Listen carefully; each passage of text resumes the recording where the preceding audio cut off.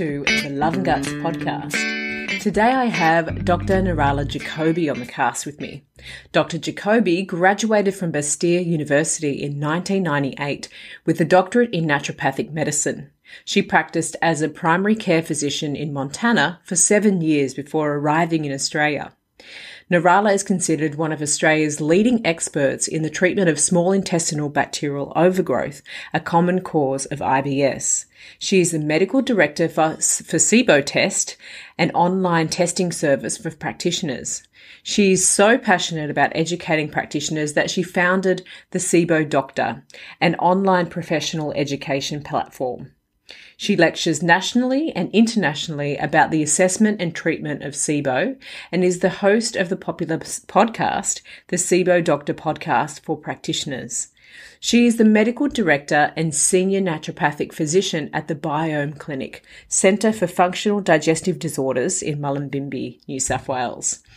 Dr. Jacobi is the co founder of the Australian Naturopathic Summit. So, in this episode, we cover what is hydrogen sulfide? What happens when it's in excess? Do symptoms differ when hydrogen sulfide is found in the small intestine versus the large intestine? The link between hydrogen sulfide and SIBO and hydrogen sulfide and IBS-C and LIBO? How we assess for excess hydrogen sulfide and treatment strategies to reduce hydrogen sulfide and we always get into so much more because we're talking about SIBO, a topic that I love and specialize in myself. Finally, just a quick shout out to the show sponsor of the month, Nutrition Care, and in particular, their hero supplement, NC Gut Relief. Apart from helping digest food and absorb nutrients, your gut is your first line of defense, making up 70% of your immune system, which means if your gut isn't performing at its best, your overall health may be compromised too. NC Gut Relief is a science based formulation of nutrients, herbs, and prebiotics developed to help maintain gut integrity and function. I have used NC Gut Relief in clients experiencing reflux and heartburn with much success. It is always important, however, to seek the support of a qualified health practitioner such as myself to ascertain whether this formula is the right fit for your needs. If you'd like to learn more about NC Gut Relief, simply head to the show notes of this podcast episode and you will find a link to product information there. And I do like to mention that, as always, the information in these podcasts are not intended to diagnose or treat a medical condition, so please ask your health practitioner before beginning any new treatment. And if you enjoy what you hear today, I would love it if you could share it with at least one other person in your life you know will benefit.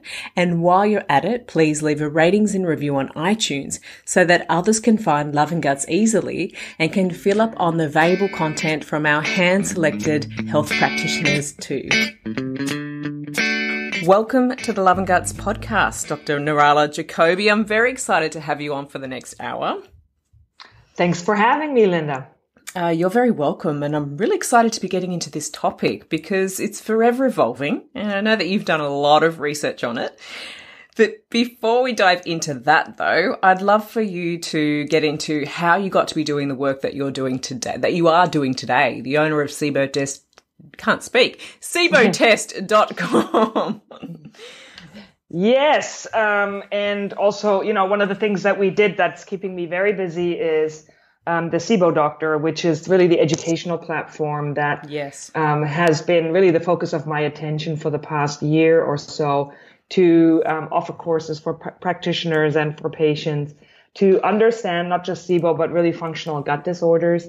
And um, so, yeah, so that's what's really kept me busy. But what got me into this, you know, I think um, I mean, it goes back 20, almost 30 years ago when I started my journey into naturopathic medicine. And probably like many naturopaths, we were always fascinated with the gut and anything to do with it. And I have to say, um, it, it feels really good to be vindicated by research uh, and a lot of things that we that we talked about already decades and decades and decades ago about gut function and gut health and probiotics and all of that is really um, been validated uh, in recent years with all of that research into the microbiome. But I started out in nutrition. and um, I was really interested in that probably because when I was a baby, I had failure to thrive. And, you know, we always kind of learn more about our own pathologies. And so was always um, a student of digestive disorders. And then when I was a primary care physician in Montana, where I practiced in a really wonderful clinic that had also um, a whole detox wing where we used sauna and colonics and all of that.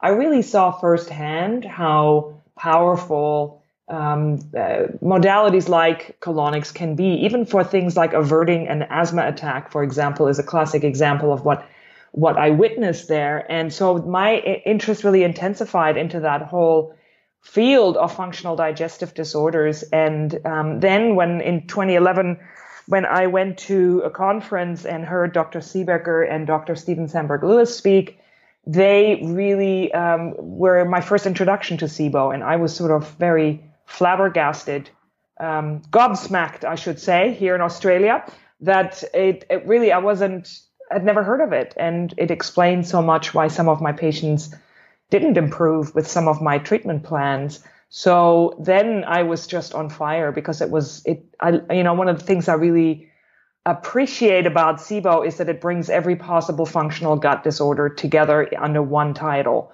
Um, it it can cause uh, leaky gut, it can cause different uh, food intolerances, it can cause systemic uh, issues, and so besides all of the IBS symptoms, so I became really fascinated with that. And uh, here we are, uh, many years later, and really feeling like we're we're we're finally getting somewhere with understanding it a lot more comprehensively.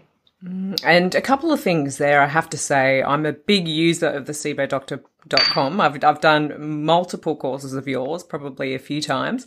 So first of all, I do want to thank you for that. I think it's just such a valuable platform for health practitioners. And if you are a health practitioner out there, I suggest you jump on and check out the courses that are available. It's, you know, it's been really invaluable for me in clinic.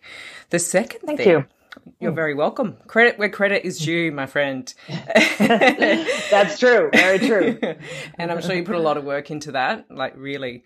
Um, the failure to thrive scenario. So, did you get exposed to natural therapies? Did your parents expose you to it, or did you kind of enter into that world yourself?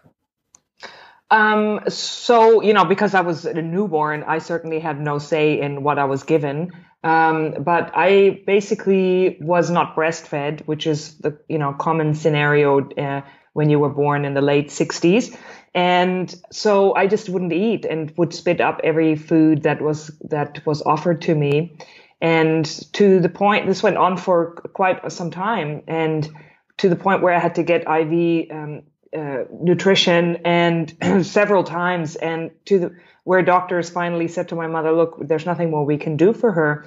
And uh, then finally, this is kind of, this has gone, this story has gone down in family folklore, of course, because what then finally saved me was that my, that my mother's uncle was a veterinarian and he gave me piglet food, which of course is very salty.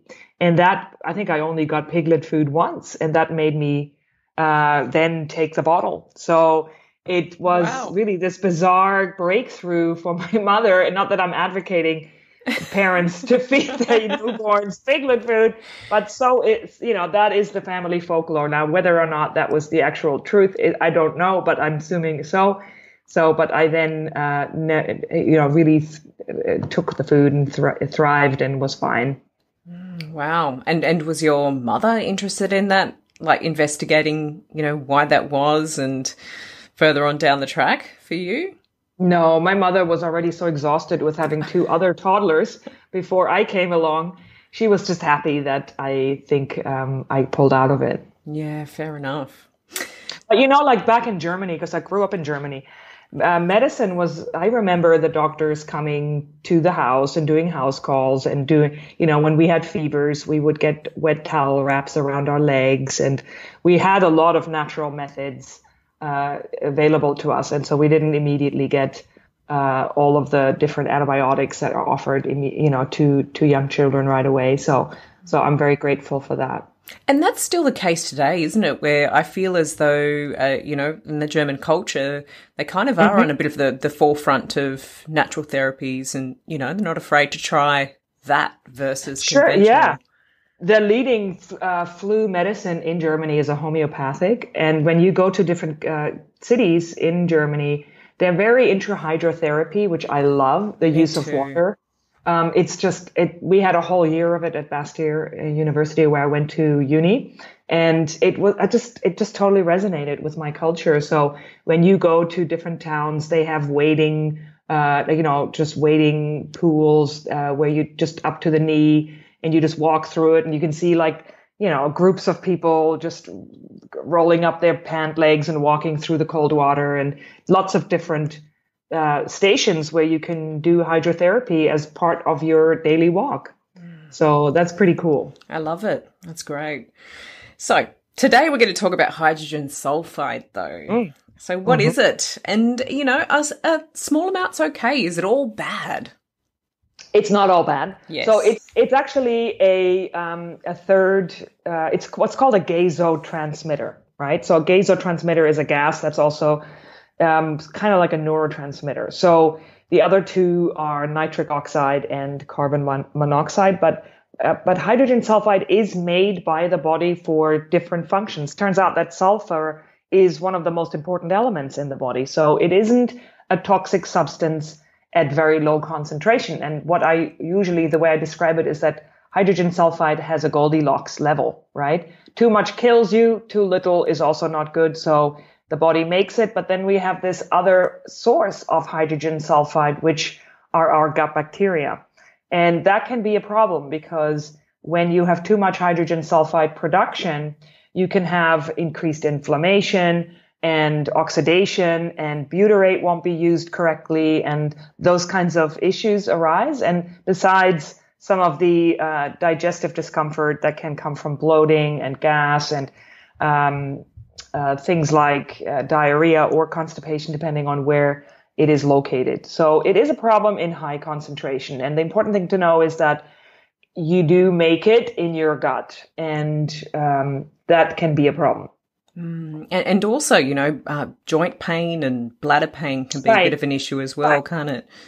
Yeah, so there are a number of, of symptoms that are highly suggestive of hydrogen sulfide, and and burning pain, I would say, you know, burning, um, severe sensitivity to alcohol, like not even one sip. Uh, those would be red flags where I would think about, oh, maybe this person is has some issues with hydrogen sulfide or is sensitive to sulfites, right? So sulfite sensitivity can sometimes also raise the level of suspicion. Mm. And do the symptoms differ when hydrogen sulfide uh, is found in the small intestine versus large intestine? Have you found? Well, you know, one of the big problems that we have is that we really have no um, way to assess the location or the, the small intestinal hydrogen sulfide yet. Yes. We've been promised the uh, famous hydrogen sulfide uh, breath test machines, which I've seen in person. I have seen the actual machine, so I know it exists. It's not a fabled story. But you know, to from research to uh, to actually bring it to the consumers is is a diff. It's like it takes time. So that is the thing. But we should be seeing some of the uh, some of the ability to test hydrogen sulfide on a breath test, hopefully in 2020, which will be a game changer. Because what I have suspected is that there aren't just patients that have the classic symptoms it's probably one of those gases that we find in, in different levels of concentration. And because it is a, a recept, like hydrogen sulfide actually is produced by hydrogen, you'll probably find different levels and have different types of symptoms. It's only when we have diarrhea and severe uh, foul gas that we think that this is classic hydrogen sulfide uh, in the small intestine, whereas a lot of the research um, when uh, with hydrogen sulfide production in the colon has actually demonstrated that it acts more as a as a constipation inducer. So this is the other fascinating aspect is that we have two different locations of hydrogen sulfide production and that potentially produce different symptoms. And that's not always the case, is it? I know I've definitely, um, I know at the moment for um, investigating or giving us some clues as if, if hydrogen sulfide is a problem in the small intestine, we're using flatlining of the SIBO test results. Um, mm-hmm but I've yes. actually, yeah, and I've seen a very, like a clear case, uh, which was very exciting for me, actually, very clear mm-hmm. case of uh, flatline. And the person did have that kind of rotten egg smell gas, but was chronically, const- but chronically constipated and mm-hmm. had been for like a number of years. Mm-hmm. And I know that you've seen that too, that it's not always diarrhea yeah. when it comes to and SIBO. yeah, and I totally agree with that. This is what I mean. I think we'll find that the, you know, the gas dynamics, are not cut and dry. They're not black and white. There, there can be methanogens, They can be sulfur reducing bacteria. Well, actually, let me paraphrase that because one of the things we don't know, and Dr. Pimentel, who is one of the, you know, eminent uh, SIBO researchers in this field, ha- keeps his cards close to his chest because it's not been published, a published study yet. And they have isolated um, the culprits in terms of who's producing hydrogen sulfide. What we know is in the colon, the primary suspects are sulfur. That's very confusing because it's sulfur reducing bacteria, but it's, it refers to the chemical or biochemical reduction pathway. So it actually is um, hydrogen sulfide production um, by desulfovibrio uh, species and also Bilophila wadsworthia. So those are the two bacteria that we know for sure produce it. What we also know is that there are two different pathways um, that are utilized by different bacteria. So we have the primary pathway that's used by these two bacteria I just mentioned is called the dissimilatory sulfate re- reduction pathway. That's the main um, pathway for them. Then we also have the desulfhydration pathway that's utilized by organisms like um, Streptococcus and Helicobacter pylori and and so forth. And then we have a third pathway, which is actually the minor pathway in the colon called the assimilatory sulfide reduction pathway that you, that is classically used by bacteria that we would consider SIBO bacteria, mm. like Klebsiella, Enterobacter, Salmonella, you know, those kinds of organisms use this pathway as a minor pathway to produce hydrogen sulfide. So it's very possible that we can have a scenario where um, we don't find desulfovibrio in the small intestine. And perhaps that's one of the reasons why maybe we see also different types of symptoms, possibly. I did have a, a conversation with Dr. Um, Dr. Ali Rezaie, who also works at Cedar Sinai at one of the symposiums. And he said they're already using the machine to uh, measure hydrogen sulfide. And he says they're seeing all sorts of uh, test results come back where hydrogen sulfide is present and it's not flatlining and people have different symptoms. So, you know, I think we, we will, we will find that as well as practitioners once we actually have access to these machineries. Oh, I can't wait. Yes, I did listen to that podcast interview you, you did with uh, Dr. Pimentel, and he did keep those those cards close to his chest, but it's definitely he's, looks he's, like it's very yeah. near.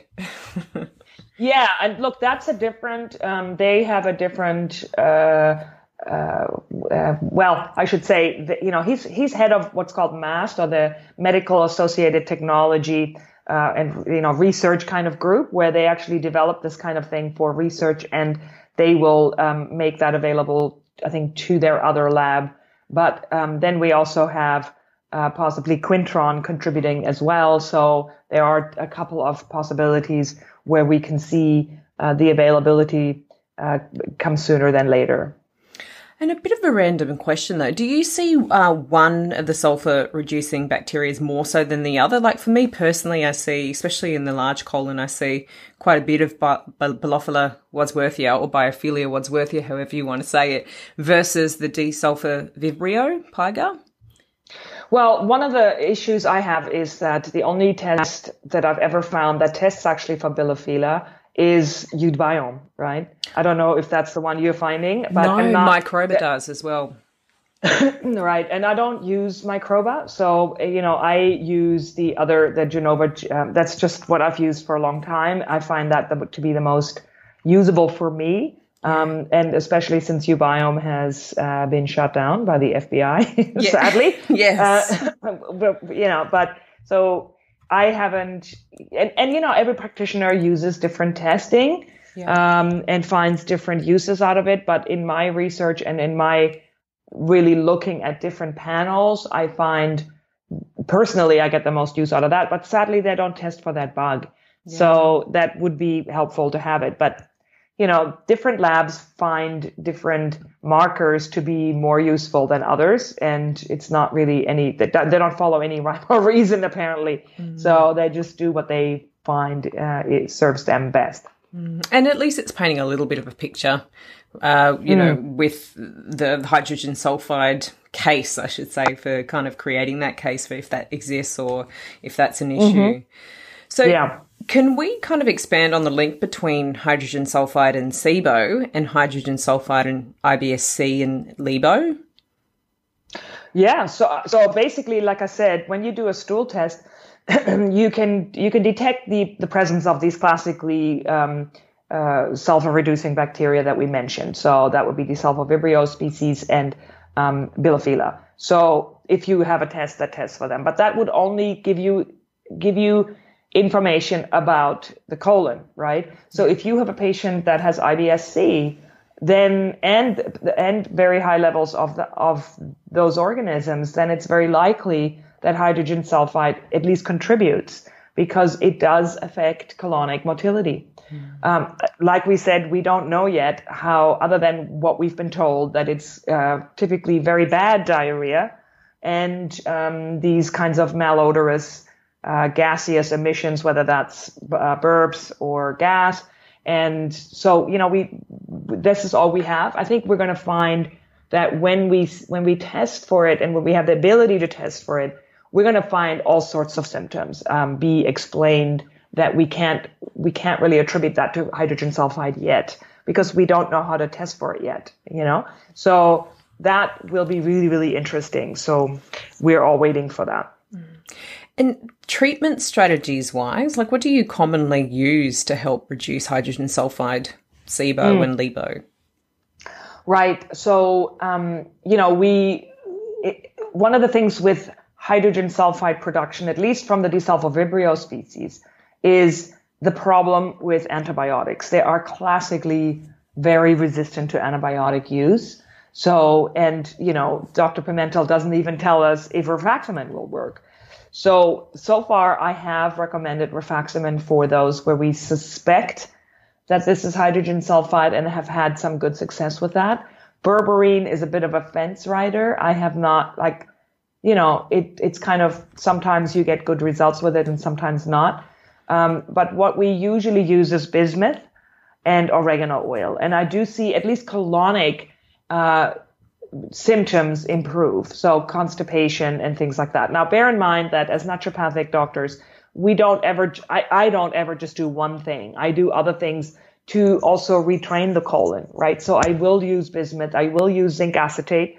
That's been shown in research to be successful as well as a binder. I, I think that it's any zinc that's poorly absorbed. So it might not, it might be other types of zinc that aren't um, absorbed as well as, let's say, zinc picolinate or citrate. So other types of zinc might be helpful. Um, oregano oil and bismuth are really our three heavy hitters when it comes to hydrogen sulfide.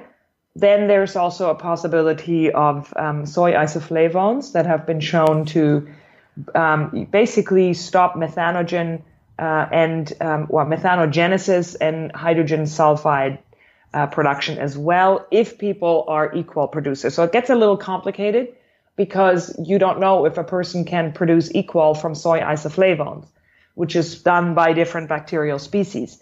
But um, this is where uBiome was really helpful because it told you whether or not you had those equol producers.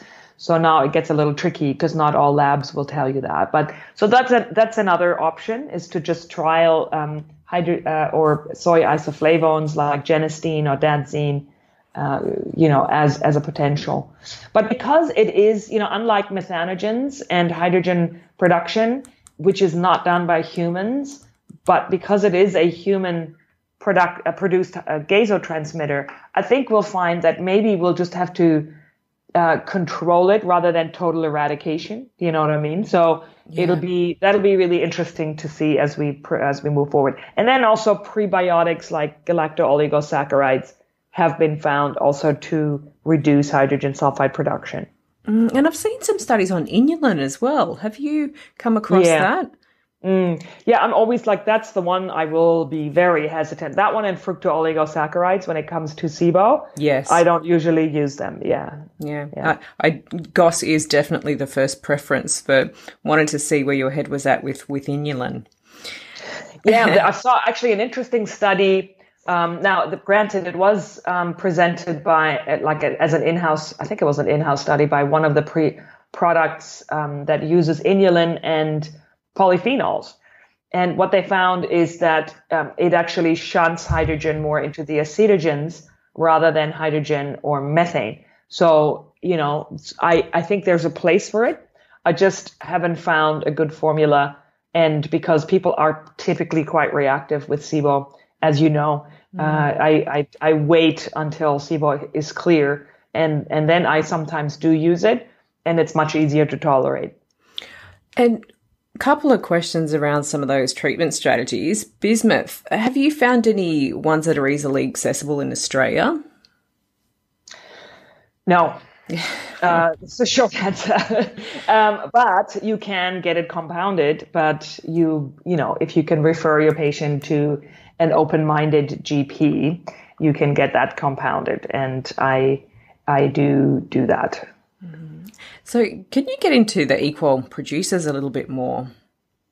Mm. So, equol producers, so what it's kind of like soy is, we know the beneficial effects of soy when it comes to um, breast cancer prevention, uh, menopausal symptoms, and really being this sort of adaptogenic almost uh, quality to soy. And uh, I'm not a, I'm not at all uh, an enemy of soy. I will tell you that. And when I first came to Australia, I was I was like, what? Why? Soy is our friend. It's just a bean. Don't be afraid of it. So there's this. I think there's a lot of misinformation about soy, and of course, I am talking about non-GMO, organically grown, hopefully non-Amazon cutting down type of soy, right? Uh, not the stuff that you feed to cattle.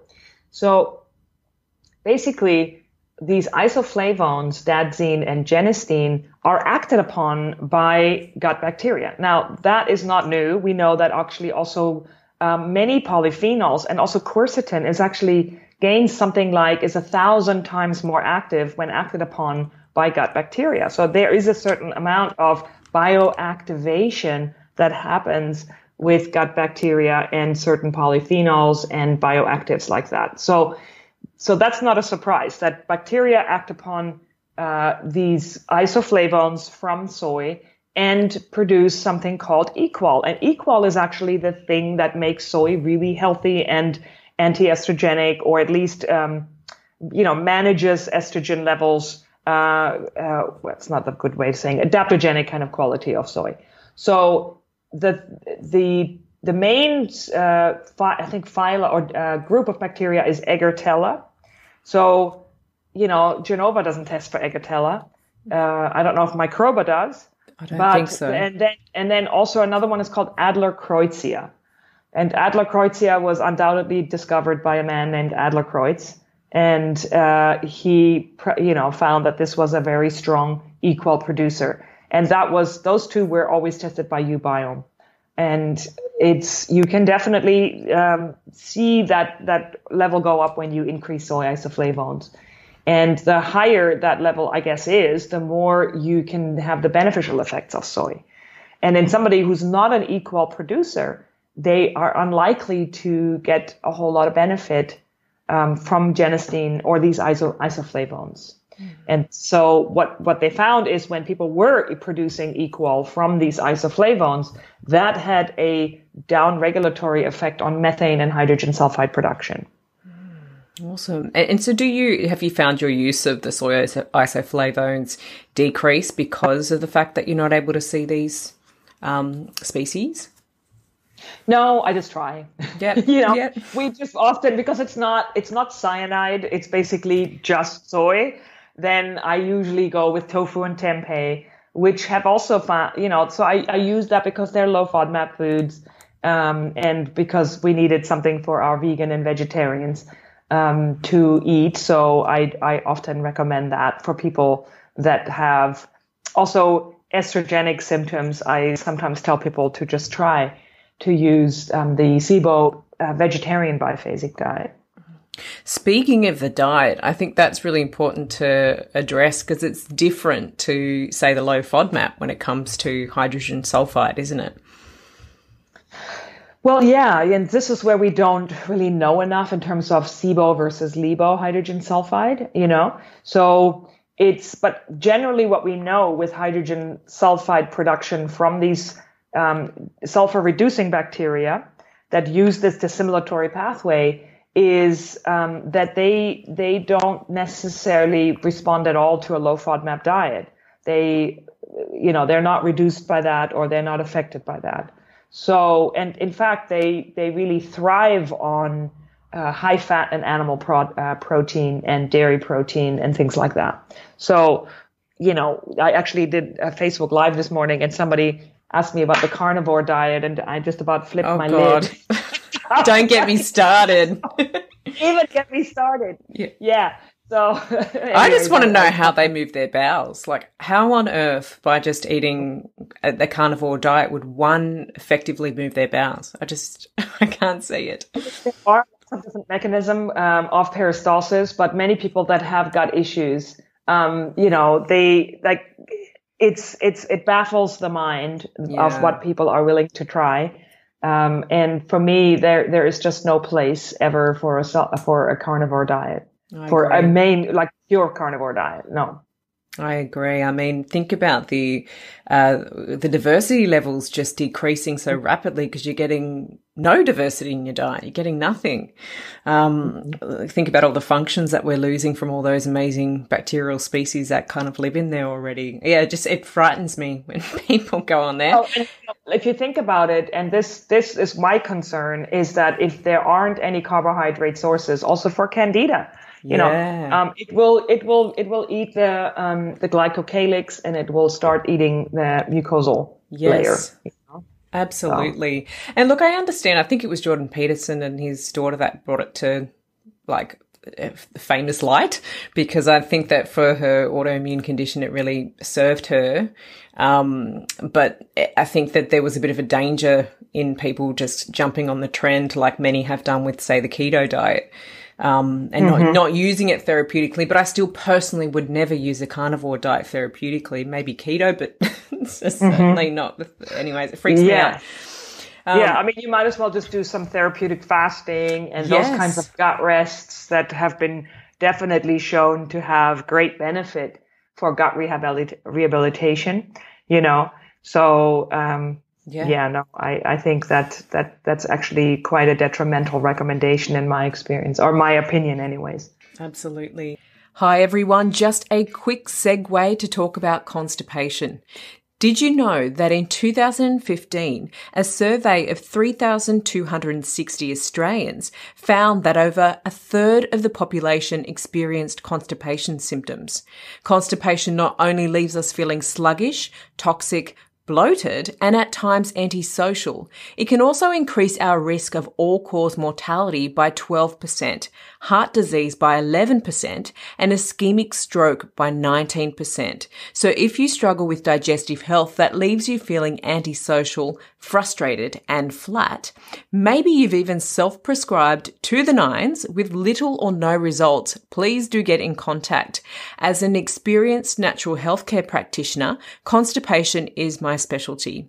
Over many years, I have seen many patients respond well to treatment, and the good news is that sometimes the management is very straightforward. An added bonus is that my consultations are run online, which means it does not matter where you're, you are located, I can work with you. So to schedule in a naturopathic nutrition consultation with me, simply head to my website, lindagriprich.com and go to the book an appointment page there or send an email to info at lindagriprich.com. Now back to the podcast. And are there any sort of supplement? So dietary wise, we definitely, you know, you want to be reducing a, uh, the saturated fat and animal protein, possibly dairy. Um, how strict do you get with the low so low sulfur vegetables? Because this is something that I kind of go, look, it depends on how the severe the symptoms are, but let's just have like a, a, minimum to moderate amount of that and just increase those other foods that are less sulfur rich. Exactly. That's what I do too. And it really depends on the severity and the presentation, right? So if somebody doesn't have a lot of these sulfur sensitivity symptoms that we mentioned, the burning, the joint pain, the rashes, even headaches, that kind of thing, I may not go all full out with, with sulfur reduction. I might just do the main heavy hitters, you know, um, like garlic and onions, which are anyways avoided. But also kale tends to be a problem, and and some brassicas. But but uh, you know, it's interesting because some research shows no no difference at all by reducing uh, brassica families. So uh, which is of course your broccoli and and things like that. So I tend to just tell people to do the low sulfur diet. It's a handout that people can download for free from the SIBODoctor.com. And uh, it, it basically it groups it into uh, high uh, and low and, and so forth. And you can just kind of play around with it. But when some people that are very, very symptomatic, I say do it for a month and then start to put uh, like like lower salt like vegetable sulfur back in but maybe leave eggs out for a little while longer you know mm. that kind of thing yeah. And so those, and just if, if people aren't aware of where the sulfur is found in the vegetables, we're talking about those sort of cruciferous vegetables like broccoli, cabbage, kale, cauliflower, you know, collards, Brussels sprouts, all those sorts of things. So they are fantastic foods. Um, but yeah, it really depends on where the person is at with their symptoms. And I think mm. for me, the important thing would be as well just to hone in on like how much saturated fat are they eating you know are they eating heaps of exactly. coconut oil coconut creams butters ghees all that sort of stuff because outside of um, really um, increasing these hydrogen sulfide producers it helps it doesn't help but it helps to in, well it does increase the absorption of lps which we don't want we right. want to be reducing that systemic inflammation so mm-hmm. exactly Yes. So, what about those particular um, supplements that we might want to avoid when it comes to those that are experiencing problems with hydrogen sulfide? Um, do you mean like the thiol containing ones, like the you know NAC or the um, glutathione types of things. You know, I'm thinking more the cholagogues and those. those oh, so, yes, yeah, yeah, cholagogues for sure. So cholagogues are herbs that move bile or increase bile flow, um, and or and actually increase bile production. Choleretics are actually herbs that move bile.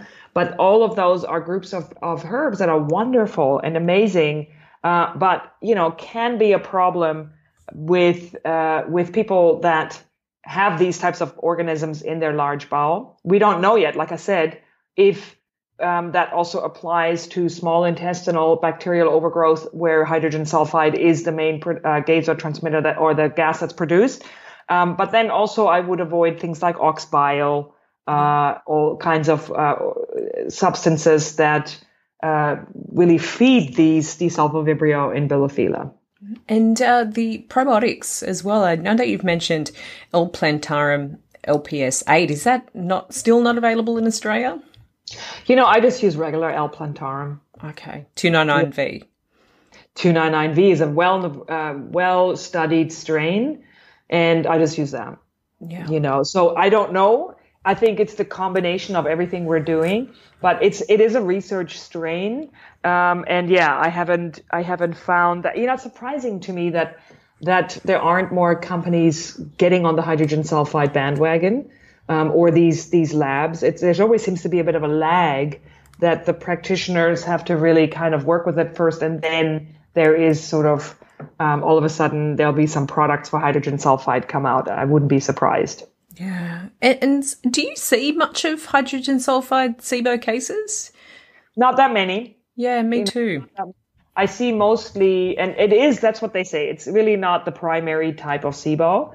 Um, but again, do we talking- do we know because we don't really know if we're assessing it like to the letter, right. you know? well, right. Well, if but you know, my conversation with Dr. Rezaie, who is who works for this lab that or that uses hydrogen sulfide um, or looks at hydrogen sulfide for research purposes at this point, he said that they found hydrogen sulfide all the time on these breath tests. You know, and the the problem has always been that it's extremely uh, you know, first of all, we don't really know the normal reference ranges because it's also endogenously produced. Yeah. So this has been the difficulty. And so even now that we have access to or will have access to this, are we just the first wave that actually creates normal reference ranges for these labs? Do you know? Yeah. Those are the questions I have because they just have started this in a way. You know, I mean, of course they have their their their people that they're researching, but I'm always wondering, do we have to still be very vigilant or um, be very questioning as practitioners always and not buy everything hook, line and sinker, I find. Yeah. Yeah. And has your treatment of hydrogen sulfide changed like dramatically over the years? Because you've done a lot of research in this area. You know, I've learned a lot from you in regards to hydrogen sulfide. So I'd love to hear how it's changed for you. Well, you know, I had this wonderful experience of um, giving my presentation that you may have done the, the hydrogen sulfide masterclass on yes. the SIBO doctor. And I presented that in, um, I think it was in New Orleans or in Chicago or uh, at the SIBO symposium of SIBO, the SIBOCon, the integrative uh, SIBO conference, and Allison was in the in the audience, and I had not heard ever her speak about hydrogen sulfide. For some reason. I hadn't come across any of her material, and it was so interesting because we came up with totally different plans, except for bismuth. Bismuth was um, something we both came across, of course, but she hadn't heard of the isoflavones. I hadn't heard of oregano oil. Uh, so we kind of, you know, I mean, she's a dear friend and colleague. So it was a, one of those wonderful moments of like, oh my God, we can, you know, we, we came up with totally different stuff. How exciting. So, um, so that, you know, so now that we, we combined it, it really, we know bismuth, we know oregano, we know zinc acetate and isoflavone. So, and L, or I, um, Lactobacillus plantarum, and um, and it was Jason who added the gauze to this. Jason Hawrelak, who added the uh, prebiotic. That's where um, I got that from him. of know? course, he did. Yeah, it's Mister Mister Prebiotic. Yeah. Oh, it wouldn't be Jason if he wasn't adding in a prebiotic, but that's cool because I love to use them myself. But uh, yeah. funny you should say that about hydrogen sulfide and Allison. I actually had her on a long time ago talking about hydrogen sulfide. So I must go and re-listen to that and see if there's, what are the differences here. Mm. Um, mm. So is there anything else that you'd like to say on this topic to our audience? Um, yeah, let's see. What what should I say about hydrogen sulfide that we haven't yet talked about? Um, it, it I think we have to also keep in mind that there is a body of research that looks at the beneficial effects of hydrogen sulfide, right? So um, there are actually finding that very low amounts of hydrogen sulfide can really induce this anti-inflammatory effect. Um, and they, they're looking into combining it with NSAIDs or nonsteroidal anti-inflammatories, which are well-known inducers of intestinal permeability and mucosal damage. So that's really fascinating to me. And, and it kind of gels with me to think that we don't have to immediately vilify uh, organisms that are just doing their thing, right? Yes. Um, and try to go in there and get rid of them and all of that. Um, you know, like somebody was actually asking me this morning in this um, on on Facebook about uh, how to get. I think it was about hydrogen sulfide. I can't even remember now. It seems like years ago, but just this morning. you know how that goes. Um, but basically, in the way I said it was the way I think about many of these organisms, whether those are they're hydrogen producers, or specifically in the colon. Oh, that's right. The question was, what about how do you treat LIBO or large intestine bacterial overgrowth compared to SIBO? Is it is a treatment different? And the way I think about large intestinal overgrowth, also with hydrogen sulfide, is more that, you know, they're meant to be there. They're even Klebsiella, Pseudomonas. Yes, we don't want them in high amounts, but to go in there and just kill, kill, kill is not the right way. And the way I think about it is when you have a test that shows very high levels of gram negatives, it's kind of like you have um, a block party with a bunch of teenagers and there is just no supervision, right? Mm. You wouldn't go in there and kill the teenagers. You just put right?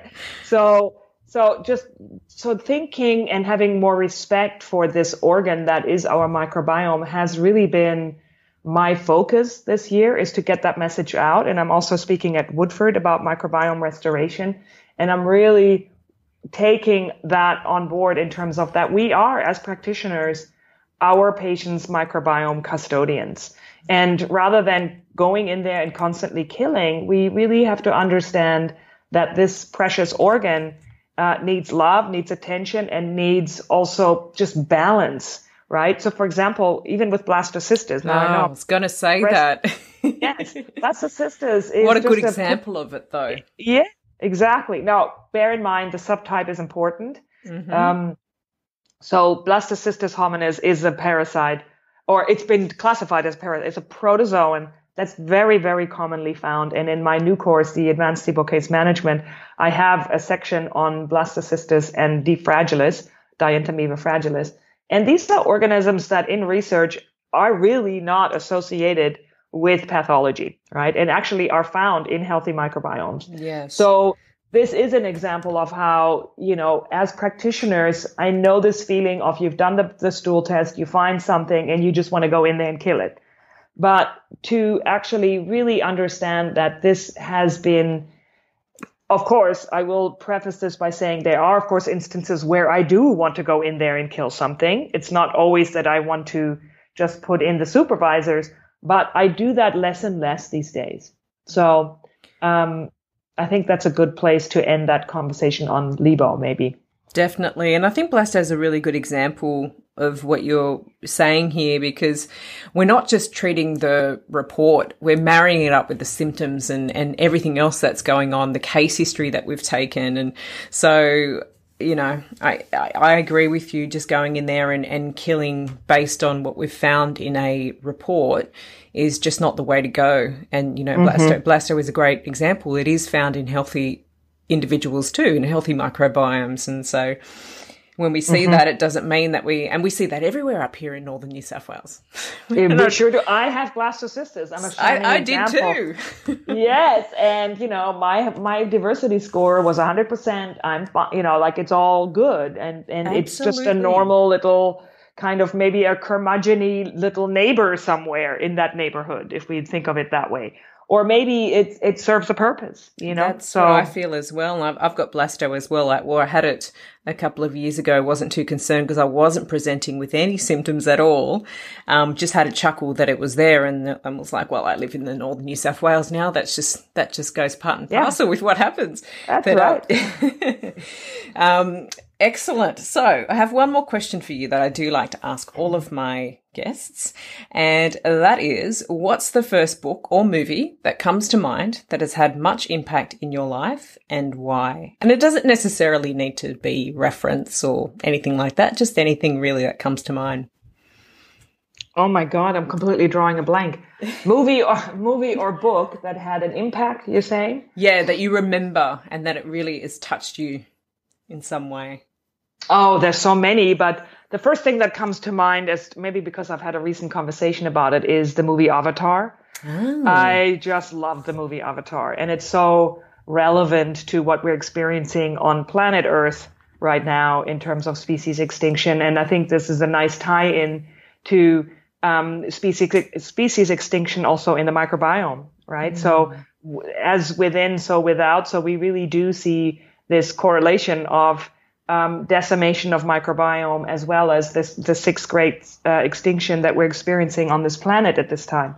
So for me, that was really um, a, a, monumental movie and uh, loved it in every aspect. But of course, there there are many others that I could say have had touched me very deeply.